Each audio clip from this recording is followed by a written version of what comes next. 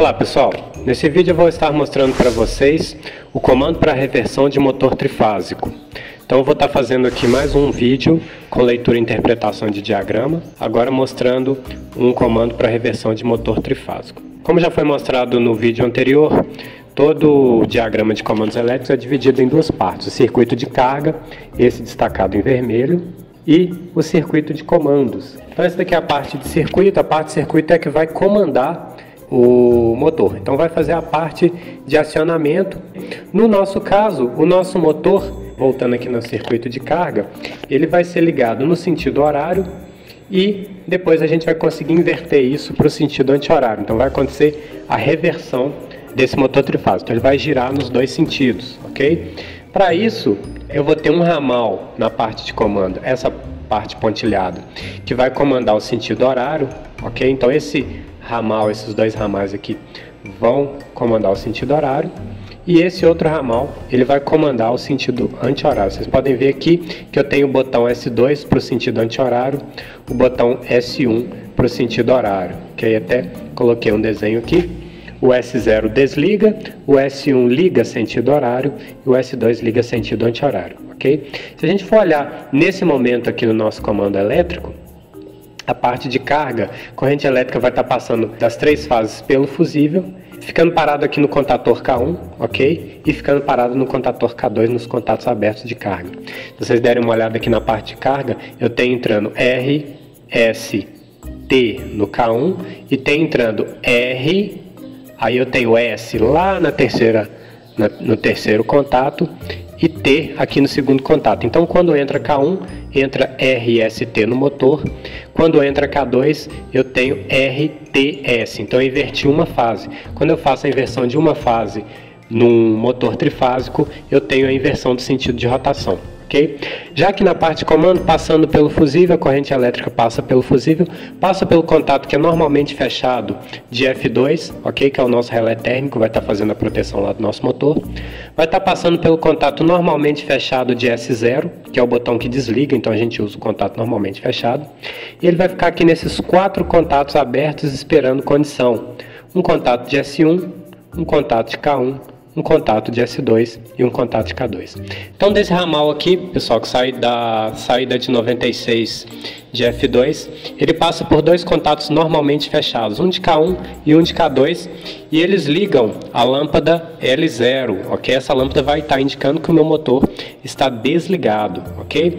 O ramal que saindo da fase S vai estar fazendo a conexão lá, tanto dos LEDs quanto dos contatores. Então vão ficar esperando condição.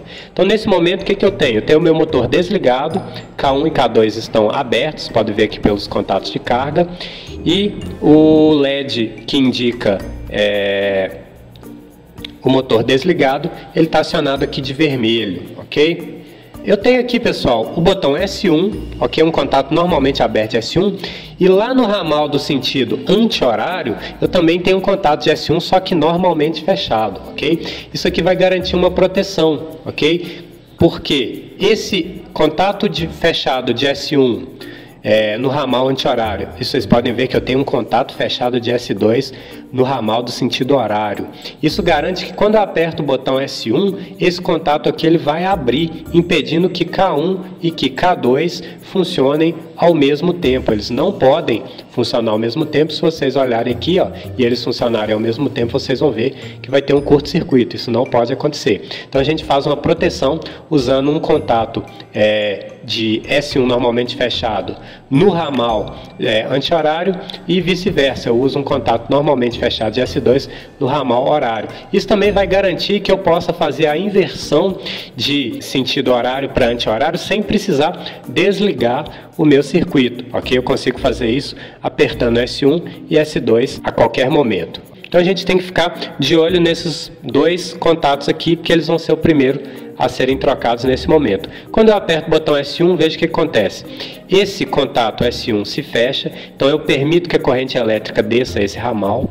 Ao mesmo tempo, esse contato S1, que era normalmente fechado, ele vai abrir, impedindo que qualquer corrente elétrica chegue até K2, ok? Isso é o primeiro instante.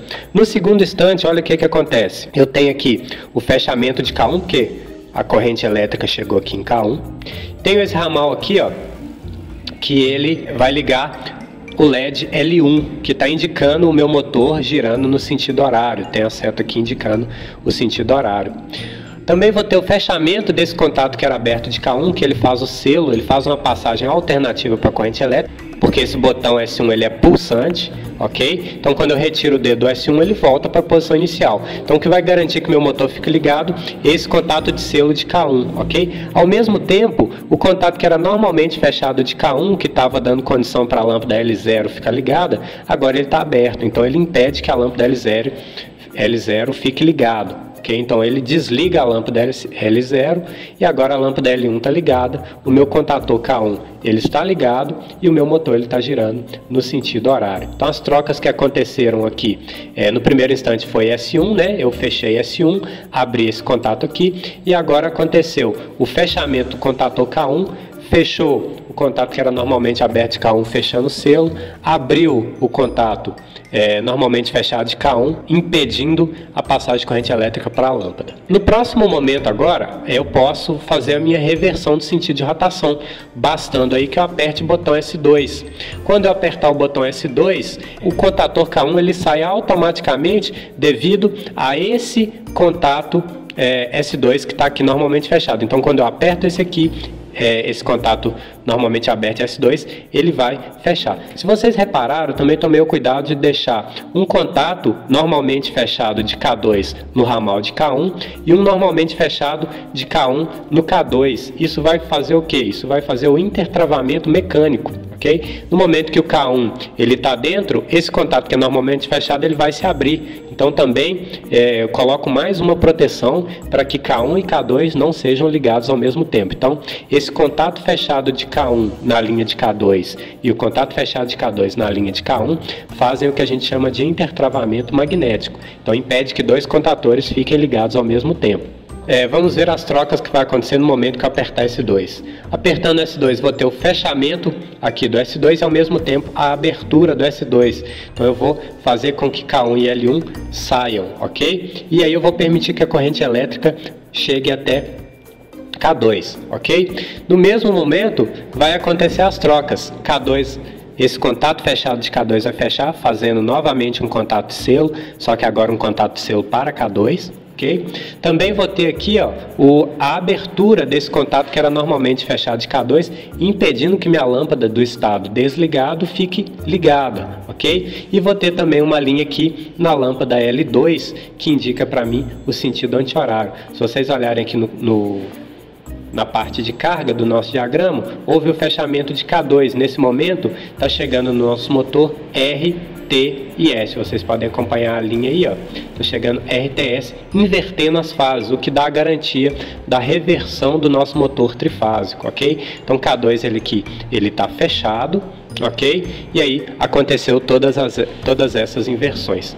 E por último, pessoal, quando eu quero desligar o meu sistema, basta que eu aperte aí o botão S0. Ele vai abrir tudo que está aqui para baixo vai tirar contator K1 e K2 que estiverem ligados, caso esteja no sentido horário ou no sentido anti-horário, e é, retira os selos. Então, retirando os contatos de selo, o meu comando ele volta para o estado inicial, e aí K1 e K2 estando fora, vou ter esses dois contatos de K1 e K2 que vão ser normalmente fechados, e a minha lâmpada de estado desligado do motor, ela vai acionar aí, indicando que o meu motor está desligado.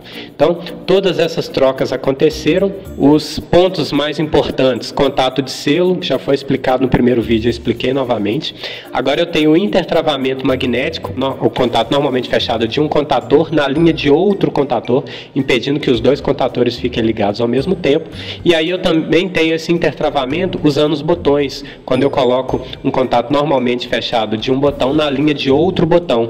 Isso permite permite com que eu consiga fazer o aperto dos botões em qualquer momento. Eu não preciso desligar o sistema para que eu aperte S1 ou S2, fazendo com que meu comando aí fique de uma maneira automática, passando direto de S1 para S2, invertendo o sentido de rotação a qualquer momento.